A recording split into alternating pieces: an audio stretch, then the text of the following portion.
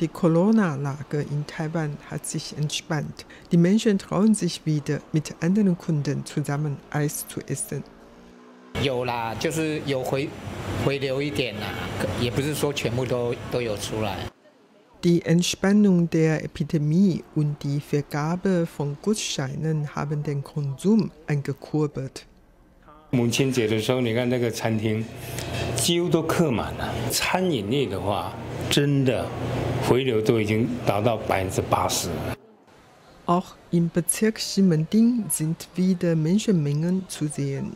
Hier werden ebenfalls lokale Gutscheine verteilt, die wiederum viele Kunden anziehen. Ein weiterer Grund dafür sind wohl sinkende Miete. 在调降的幅度上面，我们会有听到三成到五成左右这样子一个比较高的幅度，会有一些新的业主愿意转进。那当然，如果说新的租客进来之后的话，他也比较能够吸引到人潮。